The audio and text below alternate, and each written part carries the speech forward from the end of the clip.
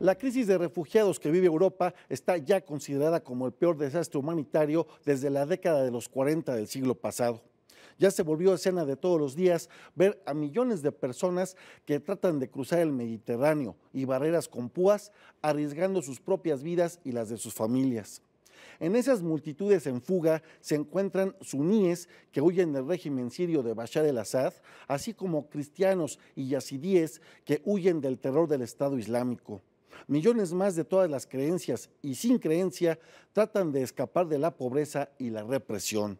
En el camino dejan a muchos muertos, ya sea ancianos, enfermos o niños que no soportan el rudo viaje.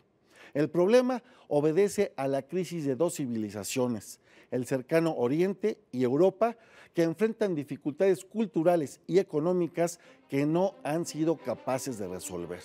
¿Cómo la ve?